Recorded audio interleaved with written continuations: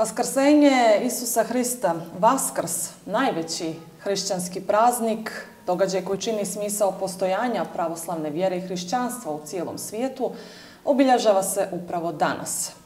Kao što smo i ranije najavili, današnju specijalnu emisiju povodom Vaskrsa emitujemo iz parohijskog doma pri crkvi Svetog Nikolaja Mirlikijskog u mjestu Meterizi u našem gradu i naravno zbog naših gledalca duže smo da napomenemo da ovu emisiju realizujemo ranije. Naš domaćin ovog vaskršnjeg jutra je protojerej Siniša Smiljić, Smiljić paroh Ulcinski. Hristos Voskrese. Pa istinu Voskrese. U temi koju ćemo danas obraditi na ovaj poseban svečani dan, e, govorit ćemo, obuhvatit ćemo konkretno smisao Vaskrsa i proslava Vaskrsa u životu jednog pravoslavnog hrišćana. Ali da krenemo ono redom, posebna bogosluženja su ono što karakteriše period e, u toku velikog posta i oko najznačajnijeg praznika koji padaju za vrijeme posta, koja za razliku od prethodne dvije godine nemaju ograničenja i čini mi se da ovaj praznik, ovaj Vaskrs dočekujemo u mnogo ljepšem raspoloženju. Pa u kakvom to raspoloženju pravoslavni vjernici, u Ulcinju barem, dočekuju Vaskrs? Prije svega želim da vam ukažem svesrdnu dobrodošlicu u naš hram, e, vašoj televiziji, naravno i vama lično i da vam se zahvalim e, što uvijek pratite sva naša dešavanja i onako vjerno ih prenosite našim gledaocima, svima onima koji su zainteresovani da i na ovaj način čuju riječ Božju i da se e, prosto informišu o svemu onome što se dešava u našem hramu i na našim bogosluženjima. E, jeste u pravu ste da, kao što ste sami rekli, e, dočekujemo najveći i najradosniji praznik pravoslavni hrišćanski, to je vaskrsenje gospoda i Boga i spasa našega Isusa Hrista. Međutim, moramo ukratko samo napraviti jedan uvod i osvrnuti se na ono što e, predstoji e, dočeku praznika Vaskrsenja, to je da se mi trenutno nalazimo u iščekivanju praznika Hristovog Vaskrsenja i u pripremi, da kažemo, dočeka tog praznika svako onaj ko se trudi da e, živi duhovnim životom zna da priprema za neki praznik e, e, se ne svodi samo na tu spoljašnju pripremu, tu spoljašnje radovanje, tjelesno, kako bismo mi rekli, na hranu i piće i uopšte na radost, da je to potpuno jedna sporedna stvar. Već kako kaže naš veliki pjesnik i svetitelj, taj novidac, e, Petar II. Petrović Njegoš, vaskrsenja ne biva bez smrti. Tako i sve u prirodi što se dešava, dešava se na taj način. Dokle nešto se ne žrtvuje, dok se nešto ne, ne, ne kao ono pšenično zrno koje bacimo u zemlju, pa ono satrune, ali iz njegovog opna, iz njegove truleže izbija klica novoga života.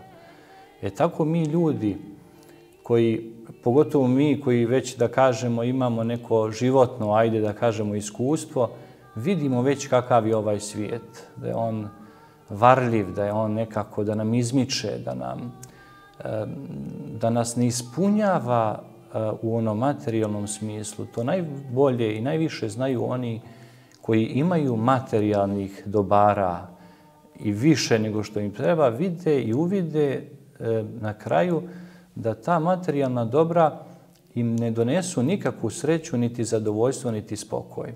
Upravo zbog toga naša crkva, naš gospod, naše sveto pismo, u ostalom, čini mi se da tako uče i sve religije svijeta, da čovjek tek postiže duhovnu zrelost, duhovni opit, duhovno iskustvo, kada se na neki način bare malo odrekne onog tjelesnog i materijalnog. Zato je naša crkva po ugledu na našeg gospoda, spasitelja Isusa Hrista, Sina Božijeg, koji je jedno lice Svete Trojice. Evo, to ćemo kratko objasniti taj najznačajniji dogmat naše pravoslavne crkve, da ne bi bunilo neke pa kažu da smo mi mnogo božci ili da je to nešto zapetljano što se ne zna. Naravno, Bog je velika i nedokučiva tajna, neotkrivena tajna, ali mi znamo o njemu onoliko koliko nam se on otkrio. A on nam se otkrio kroz gospoda našeg Isusa Hrista. I sad da ne dužimo mnogo, uglavnom, dakle, naša crkva uči da je naš Bog, Sveta Trojica, Otac, Sin i Duh Sveti, jedan Bog sa tri lica, kao što je Sunce jedna planeta i ono ima svojstvo da je to planeta, ali ima svoj, tri svojstva, e, svojstvo svjetlosti, svojstvo toplote i svojstvo energije. Tako i naš Bog, Sveta Trojica, on djeluje kroz ta tri svojstva, tri lica, Oca, Sina i Duha Svetoga. Jedno lice Svete Trojice, dakle, Sin Božiji, Isus Hristos ovaplotio se preko utrobe Marije Djeve i postao jedan od nas, da bismo mi, ugledajući se na njega i na njegovu žrtvu, i mi postali bogovi po blagodati.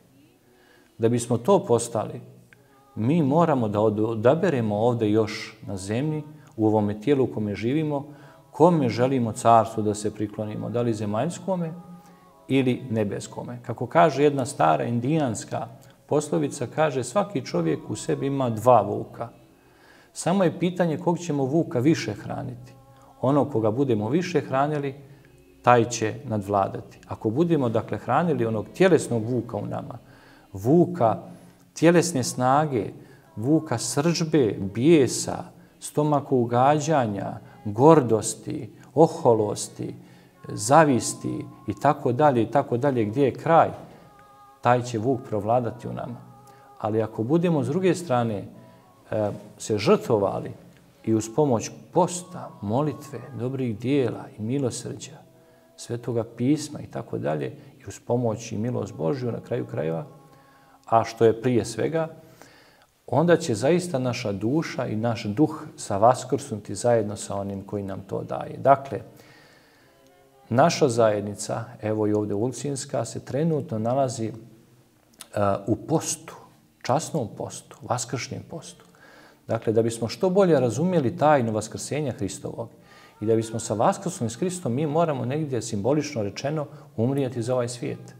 Dakle, mi pravoslavni hrišćani u toku ovih 40 dana prije Vaskrsa, mi se odričajemo određene hrane i pića, mesa, a, mliječnih proizvoda, jaja i onda imamo dalje, dakle, da kažemo, razne nivoje postova, zavisno od duhovnog uzrasta.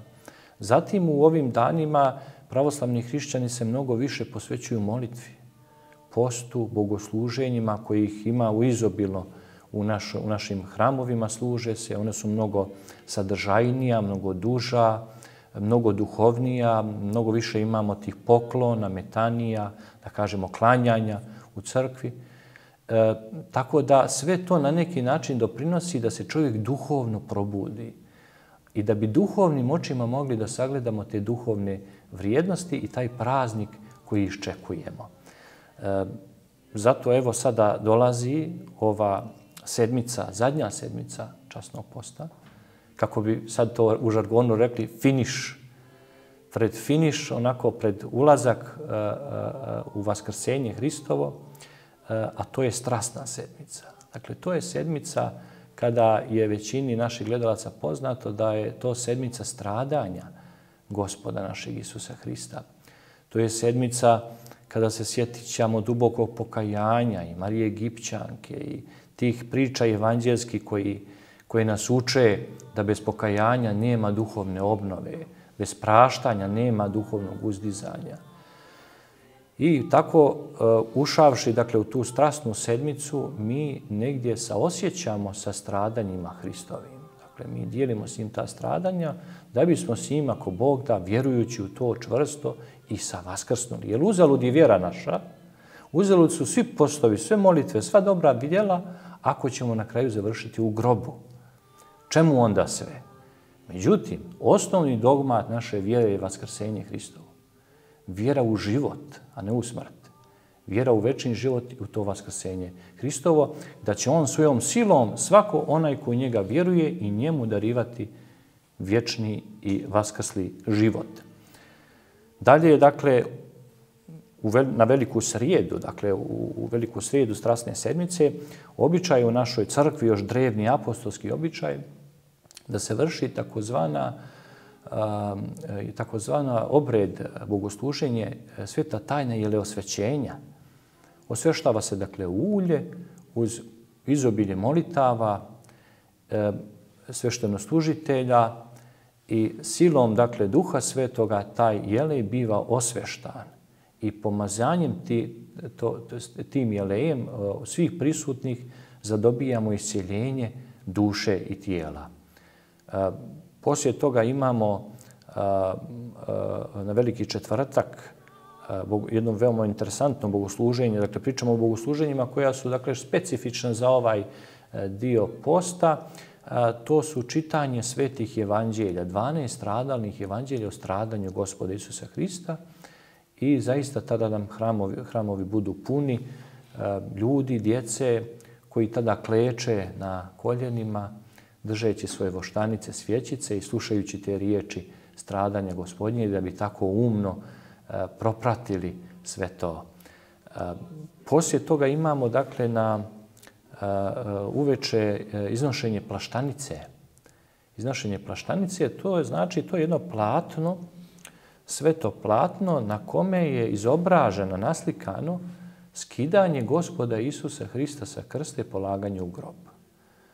To je jedna potresna scena, dakle, gdje e, sveštenik, dakle simbolično sjećajući se toga velikog događaja, potresnog događaja, iznosi tu plaštanicu i postavlja na simbolični Hristov grob na jedno mjesto ukrašeno cvijećem na sredinu hrama i dolaze vjernici, poklenjuju se, provlače se ispod te plaštanice, cijelivaju je, jer kako u narodu i kako poznato da je to dobro isto za iscijeljenje duše i krepost tijela.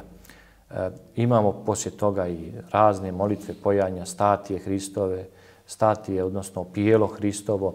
I tako sve, dakle, preko tih veliko stradalnih e, e, događaja i bogosluženja koje nas posjećaju na stradanja Hristova, polako ulazimo u veliku subotu, u jedno zatišje, kako kažu, pred nešto veliko što će se desiti.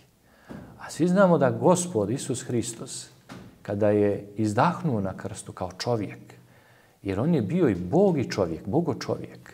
I istinski Bog i istinski čovjek, neslivenih priroda u jednu drugu, niti razdvojenih. To ima dokaze za to, imamo u Svetom pismu, da se ne širimo tu priču. E, dakle, Gospod Isus Hristos je tada sišao u ad.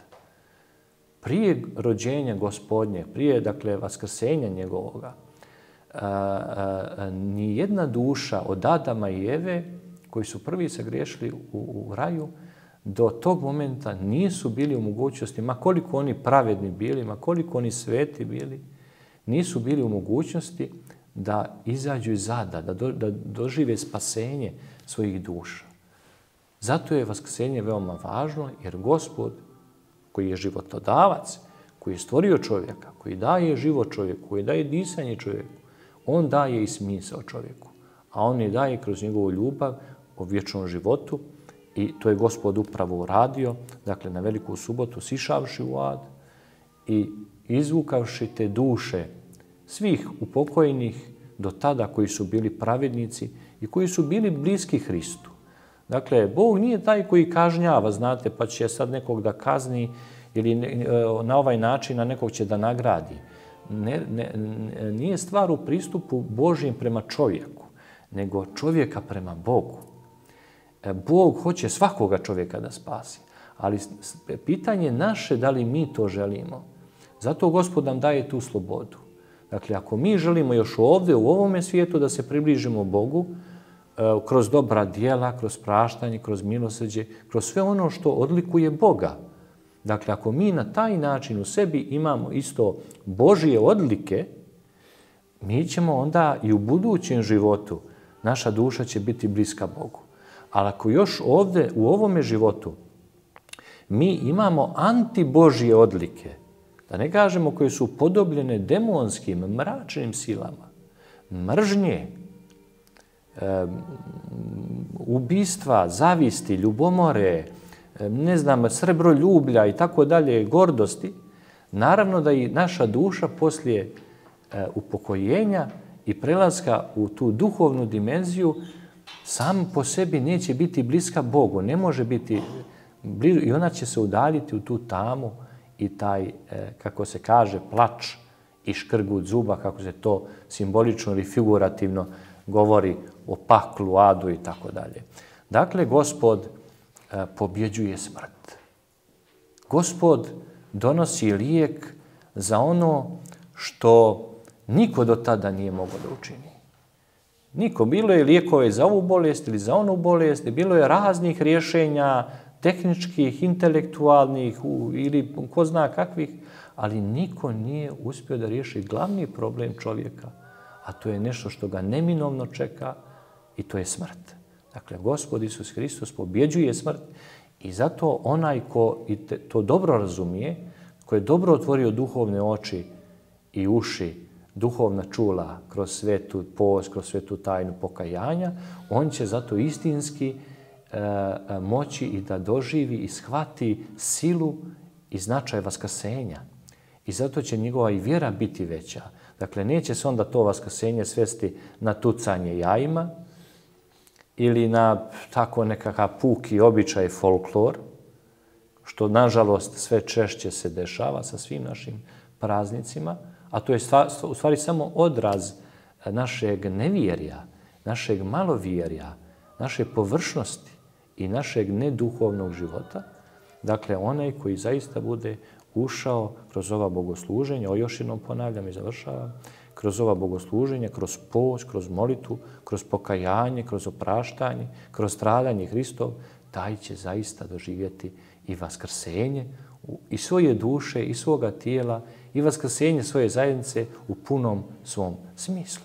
Najveći neprijatelj svijeta i čovječanstva po hrišćanskom vjerovanju je grijeh, ali kroz Vaskrs je i Hristovo vaskrsenje je pobjeđena ta tama i smrt.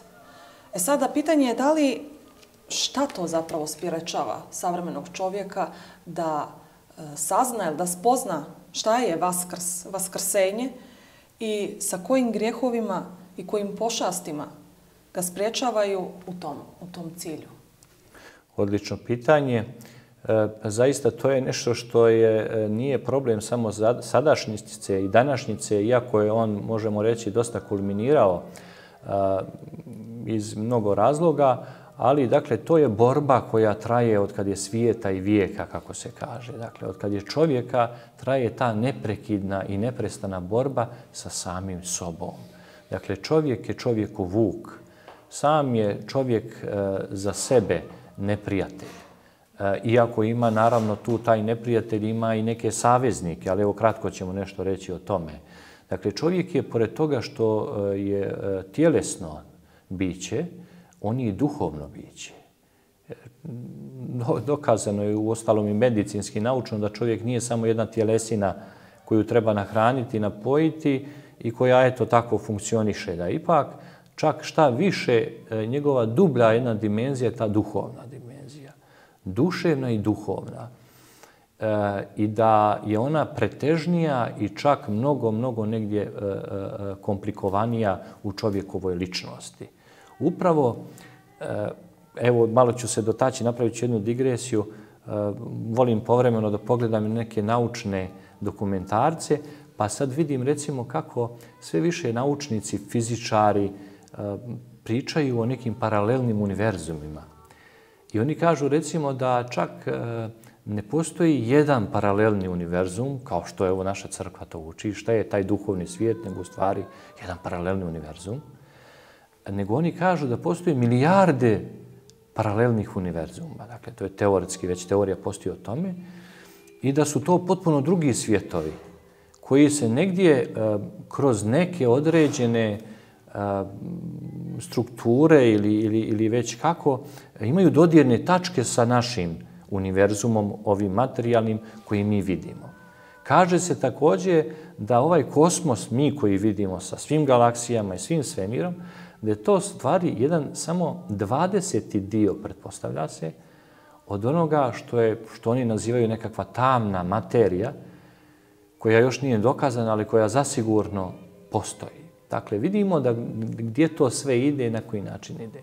Dakle, čovjek kao tjelesno biće e, je samo mali dio onoga što mi vidimo, a najveći dio onoga što mi ne vidimo čovjeka. Pa se priča i o aurama, i o e, nekim energijama, i ovom i onom raznim dimenzijama, ali to je sve još nepoznato i neopipljivo, što zna, ne mora da znači da i ne postoji.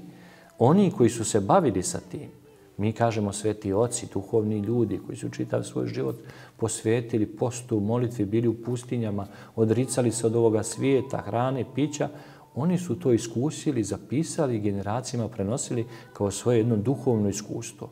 Upravo to iskustvo ogromnih razmjera naša crkva posjeduje i pokušava bar mali dio toga da prenese na one koji žele da tragaju za tim duhovnim iskustvom.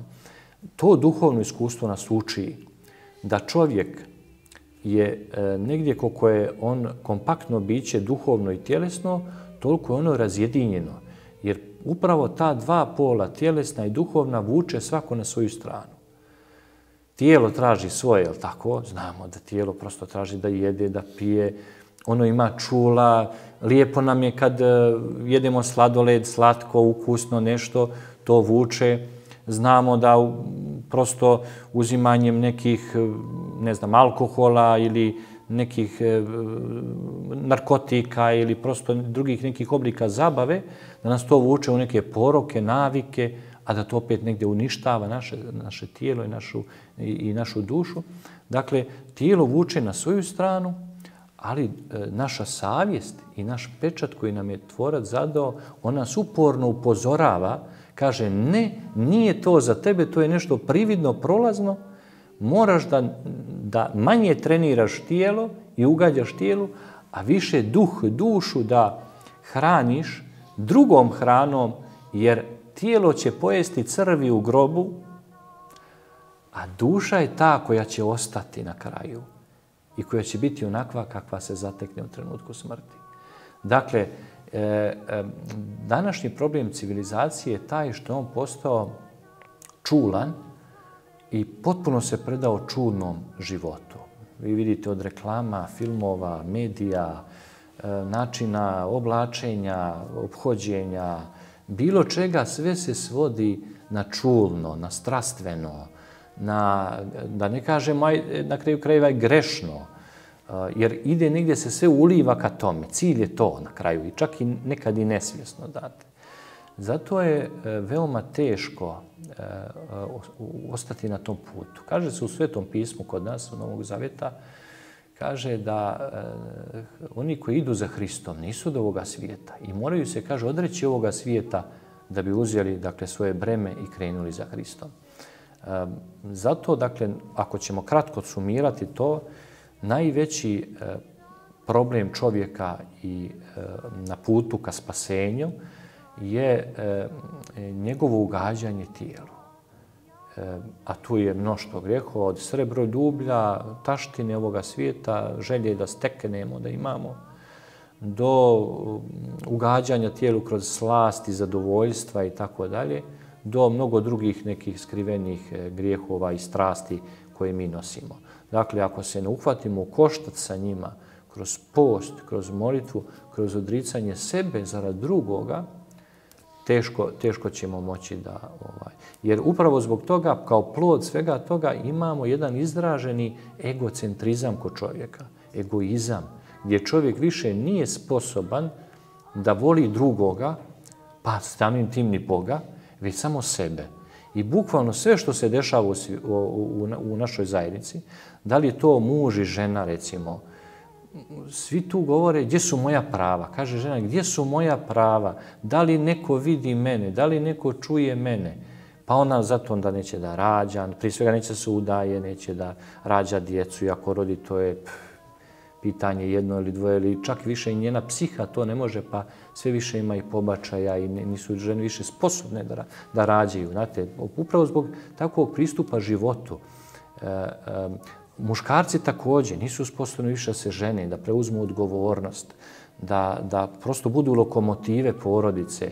On traži isto svoju svoja neka prava, nešto, nekog uživanja i lagodnog života i tako dalje. Pa onda su tako svi odnosi e, koji imamo u društvu i e, političara i sveštenika i automehaničara i advokata, svi nekako gledaju da grabe za sebe.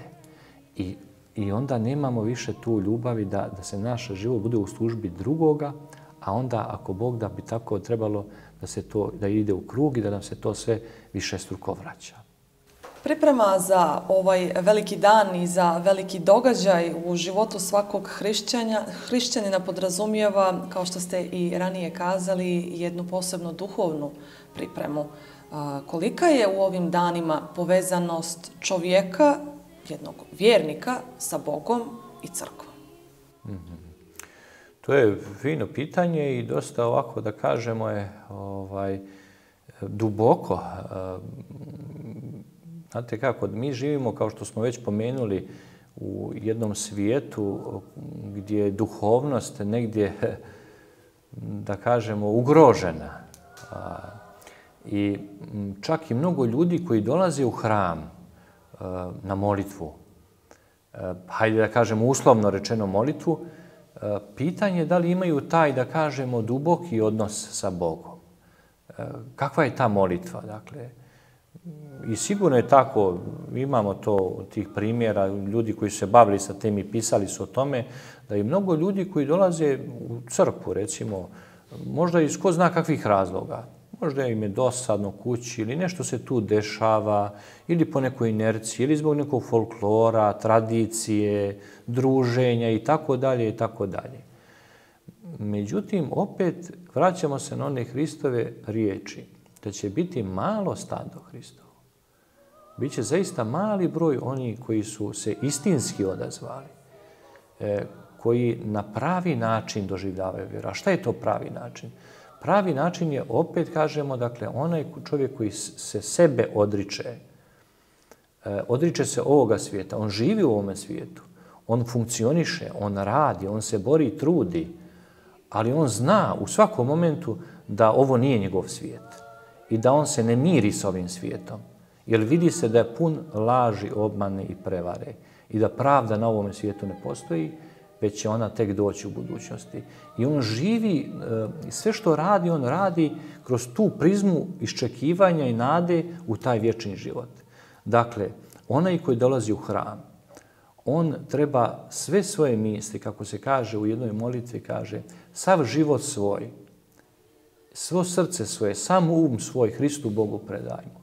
Dakle, ne malo uma, ne malo srca, ne malo snage, nego kaže sav um svoj, svu snagu svoju. E, e, ako budemo tako pristupali Hristu i crkvi i duhovnome životu, onda ćemo se zajedno sjedini, zaista sjediniti sa Bogom i onda će se obistiniti i ostvariti one riječi gdje Hristos kaže ištite najprije carstva nebeskoga, a sve ostalo će vam se nadodati i pridodati. I zaista tako biva. Zar eto Bog, vidimo ove životinjice, vrabce u zimi kada padne snijeg, kada ne, čini se da nema hrane nikakve, kako oni prežive? Ili kako tako prosto, evo vidite, i, i sve ovo što, što, što, što se prepusti Bogu nekako lagodnije i cvrkuće i pjeva i raduje se i onaj cvijet poljski i sve, a čovjek nekako toliko mu je Bog dao i intelekta i duhovnoga i sam mu se on otkrio i daje mu se kroz svetu čašu pričešće da kuša samoga Boga da okusi u sebe, a čovjek opet nezadovoljan i vječno nezadovoljan. I što više ima materijalnog, on je opet više nezadovoljan. Vidimo porodice, recimo ja sam kao sveštenik pastir, ulazim u mnoge domove, porodice, pa onda tako to posmatram, gledam, vidim. I znate gdje nalazim najviše radosti? Tamo gdje je najmanje materijalnog bogatstva. Tamo gdje su pune kuće djece, gdje su one polu, polu bosa, polu gola, gdje su, da kažemo, možda dijele neku pogačicu hljeba i nešto još tako skromno, tu je smijeh, tu je radost, tu su ozarena lica. A tamo gdje uđete u kuću, gdje je ne znam, mermer i skupe dragocjenosti, tamo vlada hladnoća. E, tamo je prosto, kako kaže narod, da se smrznete.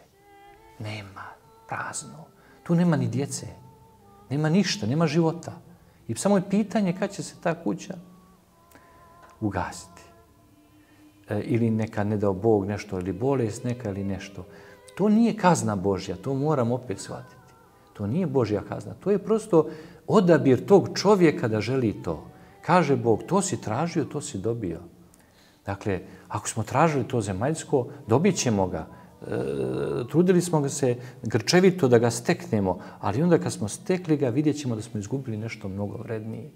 Dakle, zato je važno da nađemo mir u sebi, a mir ćemo naći e, skromnošću, žrtvom, jer žrtva je ljubav, dakle da se trudimo, to je vježba, kao u fitness centru, u teretani, kad se onaj mladić trudi da što veće mišiće ima i on sa mukom i znojem diže one utege, trudi se, jede ishranu neku koju, koja mu je preporučena ovaj, da bi postigo taj efekat tjelesne neke privlačnosti ili već čega.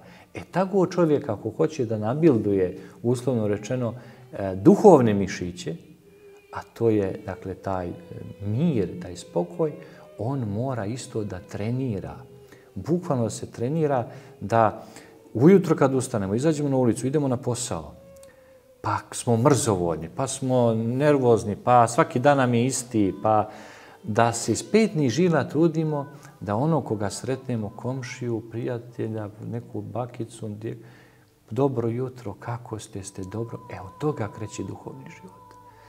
Da kad dođemo s posla umorni, i sigurno smo umorni, i sigurno nam nije do čega, ali zapamtite jedno.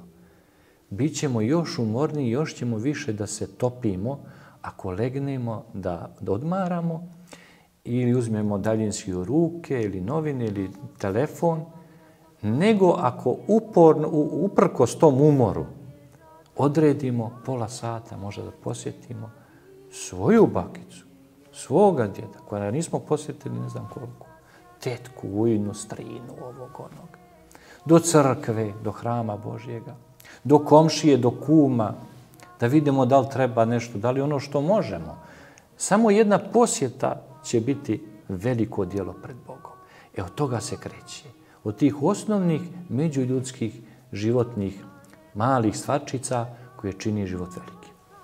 O postu ste govorili u prvom dijelu našeg intervjua, ali uz post ide i molitva i pričešće, razgovor sa duhovnikom, ispovijest. Sve su to segmenti i sastavni dijelovi u svakodnevnici jednog pravoslavnog vjernika.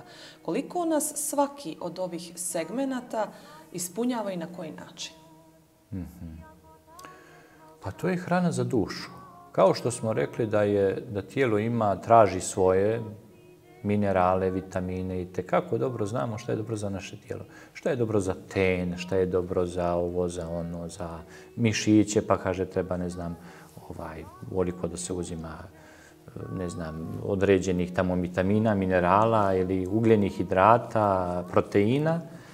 Tako isto duša ima svoje i proteine, i minerale, i ugljene hidrate i tako dalje. Sve ono što je neophodno da bi se duša naša održala ne samo živom, nego zdravom i vitalnom. E, u ostalom, ne kaže se džabe i u psihoterapiji da postoje duševne bolesti. Kao što postoje tjelesne bolesti, postoje duševne bolesti. Zato je danas, evo recimo, jedan e, egzaktan podatak od prije mjesec dana, e, jedno istraživanje koje je vršeno u Srbiji, ali naravno to se tiče čitavog regiona, pa možemo slobodno reći i svijeta među mladim ljudima.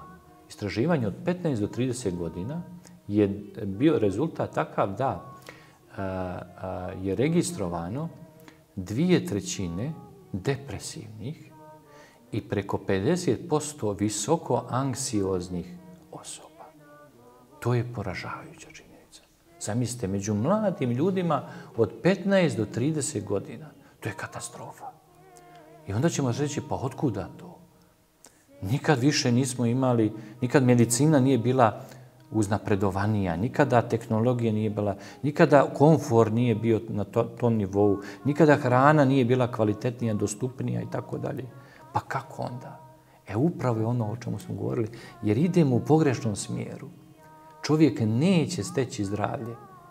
E, e, zlatni ključ je prije svega u umjerenosti i u uzdržanju.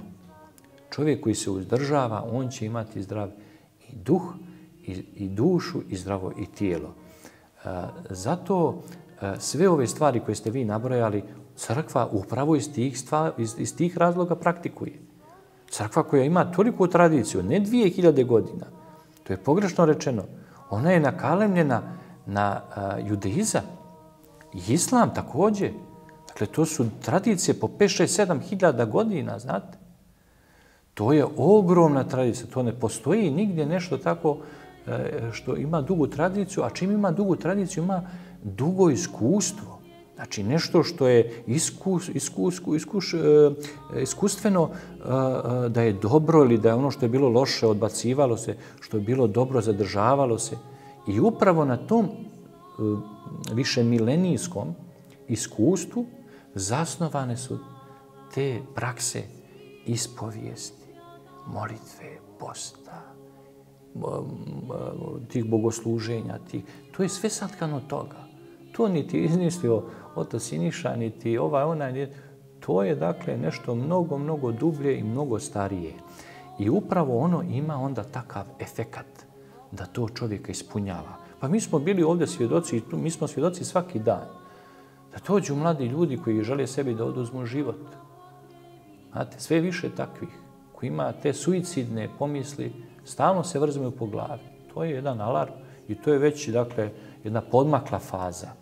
A to je, dakle, opet sve rezultat tog odstupništva od duhovnog života, od svoga bića, od svoje unutrašnjosti. A imamo opet, svjedoci smo, gdje ti mladi ljudi vaskrsavaju u hramu dođu e, ljudi sa velikim porocima, narkomanije, pušenja, alkoholizma, kockanja, e, evo sada interneta. Znači, to su ogromni poroci koji, kojima ljudi robuju i od kojih ne mogu više da dišu, ne mogu da žive. Uz pomoć molitve, uz pomoć ispovijesti, uz pomoć e, bogosluženja i na kraju uz pomoć svetoga pričešća, ti ljudi potpuno vaskrsavaju, preobražavaju se. Dakle, e, završavamo, crkva, duhovni život, nije neki folklor, nije neki običaj, dakle, to je nešto mnogo dublje, to je jedna sila, to prosto ima jedno dejstvo. Kao što lijek neki ima dejstvo na tijelo, pa onaj antibiotik može da onaj inficirano neko bolno tkivo, da to lokalizuje i da uništi te, ta antitijela, tako post, molitva, pričešće u našoj duši lokalizuje naše bolesti, guši ih i duša dolazi onda do izražaja, a kako kažu, gdje je duša e, zdrava, tamo je i tijelo zdravo. U vašoj vaskršnjoj poslanici koju smo emitovali ranije za e, pred praznik Hristovog Vaskrsenja. Eto, čuli smo naravno e, vašu poruku, ali pošto danas eto, imamo jednu posebnu čast da razgovaramo sa vama u malo drugačijem ambijentu, koja bi bila za sam kraj našeg današnjeg razgovora, vaša poruka još jednom svim pravoslavnim vjernicima i u Ulcinju, ali i onima koji nas prati, naravno svim vjernicima širom svijeta? Pa evo ovako, ja ću, e, ja ću umjesto nekog svog umovanja, mudrovanja, da e, radije ispričam jednu pričicu kratku koja će biti veoma poučna e, kao poruku, da kažem, ovo pred vaskršnjih dana za sve naše gledalce. Da li oni bili pravoslavni, naravno kao pravoslavni sveštenik, odnosi se prije svega na pravoslavne, ali ova poruka može da se upotrijebi, da kažemo, na sve ljude koji žele duhovnim životom da žive i da ovaj svijet e, ne doživljavaju kao nešto gdje treba e, što više ugrabiti, nego da treba malo i gledati unutrašnjost svoga bića. A e, to je jedna divna pričica iz žitje svetih, kada se jednom svetom starcu, koji je se molio Bogu i bio je veoma visokog duhovnog života, dostigao je te velike duhovne visine. Gospod mu je sam, dakle, Bog mu je otvorio viđenje da vidi kako đavo obmanjuje čovjeka. Dakle, kad se kaže đavo, misli se upravo na taj negativni i taj zli, taj mračni dio tog duhovnog svijeta koji je isto tako isprepleten ili tako sa ovim fizičkim, pa onda i sa čovjekom. I svi ti negativni predlozi koji dolaze čovjeku dolaze upravo od te tamne strane tih sila. I kaže se tamo kako je, kaže, njemu se otvorilo tako kao nekakav amfiteatar gdje su sjedili, sjedili su svi ti demoni veliki, tih tamnih podnebesnih sila, kako ih narod naziva, đavoli, demoni, ne, ne znam već kako i tako, šeitani i tako dalje. E, I tamo je predsjedavao, kaže, taj glavni satana, denica, đavo. Predsjedavao je tim njihovim zborom, sabranjem i kaže, on je odmah uvidio tu da se radi o, o nekom njihovom sabranu gdje oni uh, razmjenjuju svoje iskustva u obmani ljudskog roda. Da se vide čije je iskustvo najdjelotvornije. I kaže, izađe neki demon strašan na izgled. I kaže on, vidite, ja, kaže, čovjeka obmanjujem tako što mu kažem da nema Boga. I ja, kaže, stalno to njima šapćem, nema, kaže, Boga, Bog ne postoji, kaže. I kaže, vidim da mi to dosta prolazi i kaže, mnogo ljudi tako odvojim, kaže, od duhovnog života. A ovaj glavni đavo kaže, nije, kaže, to dovoljno, kaže, ovaj, to, kaže, čovjek ima u sebi, kaže, on kad tad će uvidjeti i osjetiti da, da Bog postoji. To, kaže, čovjek u prirodi svojoj zna, kaže. Ništa, kaže, vodite ovoga, kaže, ništa on nije uradio, vodite ga tamo, kaže, u tamu, najcrnju, zatvorite ga kao kaznu i tako dolazi drugi taj demon po rangu, e, koji je još strašniji od ovoga, vidi se po njemu da je, ima veliko to iskustvo laži, prevare i obmane čovjeka. I on kaže, vidite, kaže, moja braćo, kaže, ja se, ja, kaže, ljude obmanjujem tako što im kažem, ima Boga. Ima Boga, kaže, ali im onda kažem, ovaj, dobro, pošlujte vi Boga, kaže, i duhovni život, ali poštujte i ovo drugo, kaže, vi ste u svijetu, živite u svijetu, vi morate da funkcionišete. I kaže, onda oni, kaže, idu u crku, pomalo, kaže, poštuju i praznike, ali oni žive i ovim životom, još intenzivnije ovim. Kaže, u Svetom pismu stoji, Hristos je rekao, ne možeš služiti Bogu i mamonu. Tako da ih ja, kaže, tu nekako prevarim i na taj način. Kaže, ovaj đavo glavni, nije ovo, kaže, nije dovoljno, oni će, kaže, doživjeti pokajanje kad tad i kaže, čim su oni vezani uz Boga, kaže, to je, će njima biti dovoljno da jednog momenta se oni spasu. Vodite, kaže, i ovoga u tamu najkrajnju i najcrnju. Dolazi, kaže, šta ima još da, da bude tako efikasno, pored ove dvojice koji su stvarno iznijeli onako ovaj, velike zamke, velike metode, i dolazi, kaže, treći neki, najstariji, najiskusniji, tako dalje, i kaže, E vidite, kaže, kako ja obmanjujem ljude. Ja kaže im, kažem, ima i Boga. Kaže, ima Bog, postoji, kaže, sve. Postoji raj, pakao, sve postoji. Sve ovo što se propovjeda, sve to postoji. I trebate li, kaže, da kalkulišete sa ovim svijetom? Ne.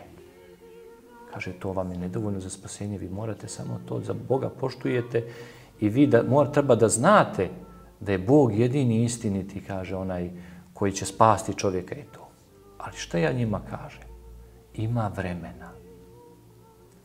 Ono malo dijete, kaže, kad se rodi i kada bude dijete, ja kažem, pa nećeš sad kao dijete da postiš. Tebi je vrijeme za igru. Da se družiš sa vršnjacima. Pa po Bogu, šta ti imaš da postiš i da se kaješ i da ideš u crku? Igraj se sada, uživaj. Kad ćeš ako nećeš kao dijete? A onda polako kaže, kad djeteta prerastu u mladalaštvo, onda im kažem, pa po Bogu, pa sad se živi. Ako nećeš sad da živiš, kad ćeš? Pa sad da kaže, najsočniji sokovi teku tvojim tijelom. Tvojim, kaže, krvnim žilama. Sad je, kaže, najljepšu, ti si, kaže, sad u najvećem cvijetu. Pa neće sad, kaže, da postiš, da se ispovjedaš. To sad bi trebalo. I onda kaže, dobro, poslušaju me. Pa onda kaže, kad izađu iz madalaštva, pa uđu u brak. Onda kažem, pa stani čoveče, pa ti sad treba da se kućiš, treba da rađaš djecu, treba da radiš, ti sad u punoj snazi. Pusti crkvu, ima vremena, crkva je za stare.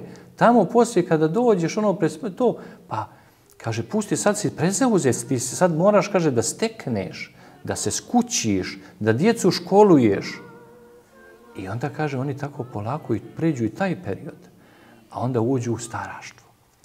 I onda im kažem, a ti si sad star, a šta imaš sad da u crkvu ideš, da ti se smiju tamo, kad nisi čitav život išao, pitaće te ljudi, a što ćeš ti sada ovde, a gdje si bio prije, tamo će ti se podsmijevati, izrugivati, kao bolje sačekaj tamo pred smrt, pa zovi, kaže popa, onda kaže vidi nešto tu, i onda kaže tako, kaže Bog im uzme dušu, kaže kad oni najmanje očekuju i kaže tako najviše duša prevari.